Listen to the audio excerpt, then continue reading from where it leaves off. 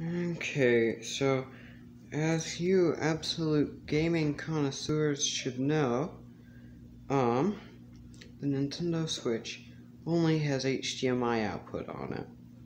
So, uh, it can only, in theory, it can only connect to a, a very late CRT or a modern LCD TV like this.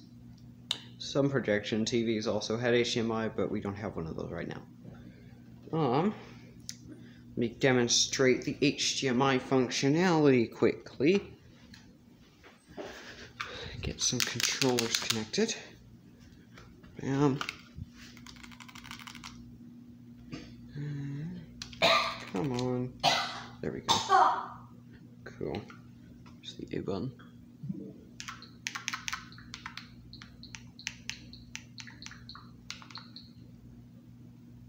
We're just gonna go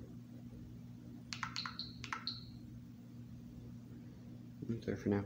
Um, but what we're gonna do is we're going to get composite video working on this thing. How you do that is you get one of these devices right here. Uh, you can find these on places like eBay and Amazon. It's an HDMI number two AV. Oh my gosh. That annoys me so much. But yeah, you can find other versions of this. Make sure it's not HDMI. Uh, make sure it's not AV to HDMI because that converts it up to HDMI, not down to composite. Anyway, so what you need to do is you need to connect this to the HDMI output of the Nintendo Switch. Like so. Get the TV down. Back. So as you can see, there's where we there's where it inputs. We're gonna unplug it. We're gonna get this box. And we're gonna plug the box into there. Let me do that quick. Alright. Now I have the HDMI converter box hooked up on there. Now we need to get some AV cables connected to that. Let me do that quick.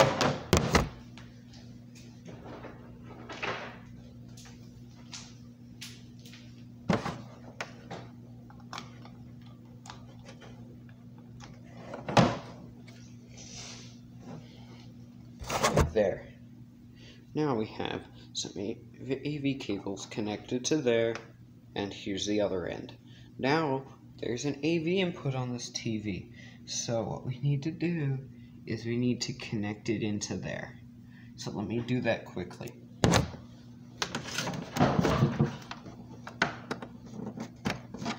I can hear the TV making sounds. It does not sound happy. Um, okay. Now we have AV connected. Now we can flip the TV back up, change the input to AV, and we should have a nice uh, composite video. Get the thing back up here. There we go. Okay. The TV's fine, don't worry. But now I need to grab the remote for it and change it to AV. We should get our signal back. And wow, that's um that's AV all right. Look at that looks um completely horrible on this TV. But no one wants to see AV on this a, a LCD. Okay. Look at that scrolling. Look at that. Wow. Anyway, let's go back to Tetris. Uh, but you guys want to see on a CRT like that. So let me hook that up quickly and show you what it looks like on there. Unplug that. Unplug that.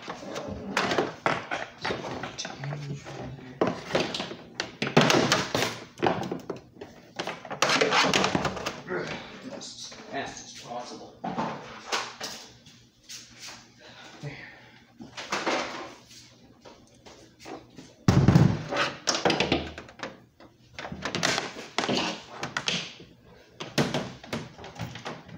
Ugh.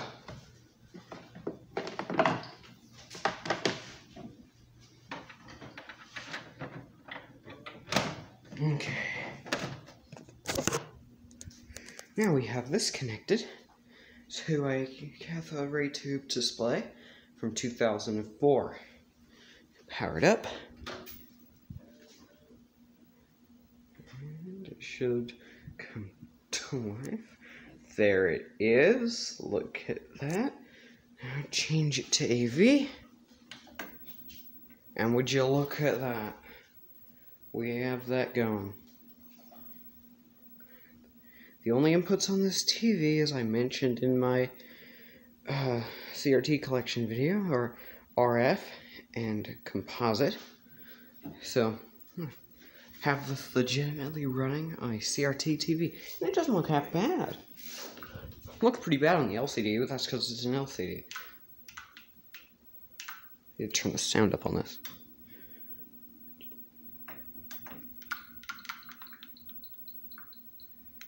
Scrolling doesn't look bad either. Nice and snappy. But we can go even further.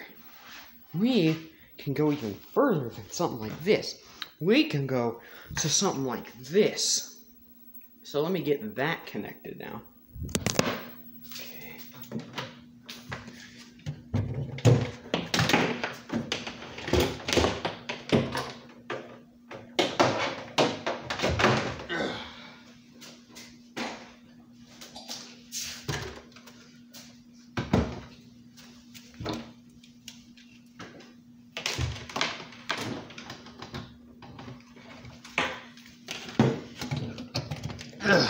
Okay.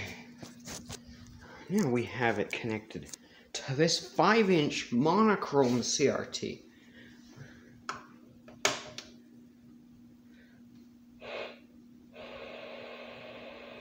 Whoops, I forgot to connect the composite input. Hold on, let me do that.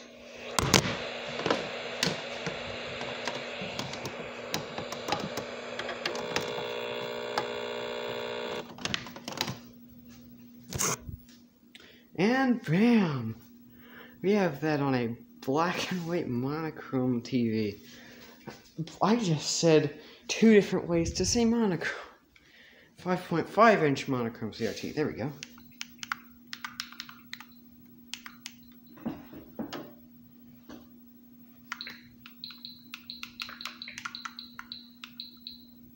And bam, there you go.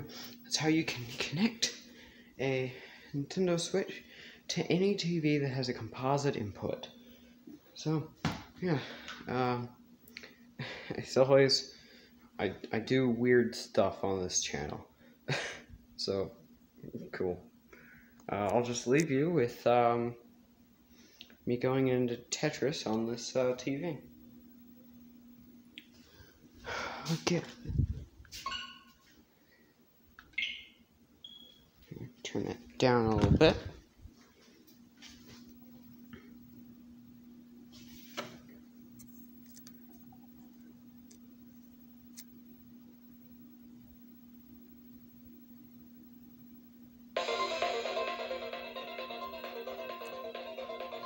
Also, for some reason, this TV can go really loud. So loud that it'll, like, drown out the speaker and bass.